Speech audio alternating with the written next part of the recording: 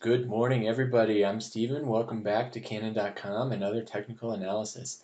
This week we're doing our deep fundamental and tech technical analysis dives into MediPharm, uh, the Canadian company specializing in making uh, cannabis concentrates and cannabis oils. Uh, interesting revenue streams for this company, so make sure and read the fundamental. Uh, but let's jump over to the pricing chart and, and see what we can learn this week you'll see we're looking at MEDIF, that's MediPharm Labs. Uh, this is on the OTC, so the stock ticker here in the United States. Uh, and we're looking at a couple uh, moving averages. Here we have our, our simple moving averages, the short period, the 50, and the 200, the longer period. Uh, so the red is the 50, the green is the 200. And you can see a, a formulation that we've uh, seen many times before when the 50 short-term period crosses below the long-term period. Uh, a death cross, right? That would be a, a, sign to short the stock here at $3.42. Uh, and you can see after that, the stock did indeed come down about 40 cents. So that would have been a nice little uh, gain had you had the patience to uh, stand around this bump here. Um, we're also looking at a couple different um, forms of weighted averages. As you know, moving averages are so powerful.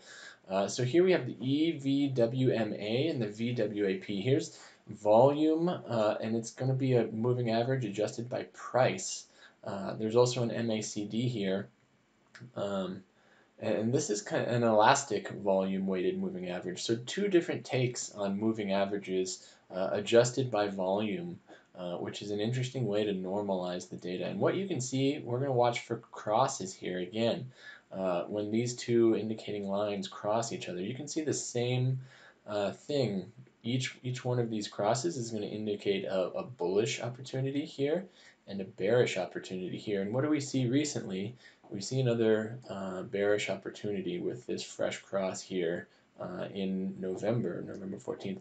And you can see that the cross uh, is a little bit delayed as compared to the uh, death cross that we have from the simple moving averages.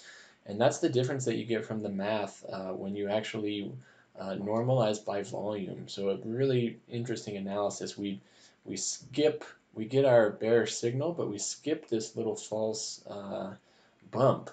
Uh, so although the death cross here did indeed go down, it, it you know it took a lot of uh, uh, fortitude to not get out of the trade there.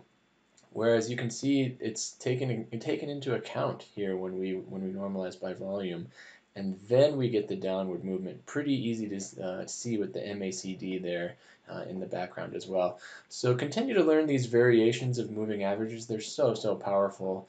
Uh, and they really, really help uh, clear up uh, indicators and, and, what exactly to do. Uh, so thanks so much. Uh, keep learning and keep trading.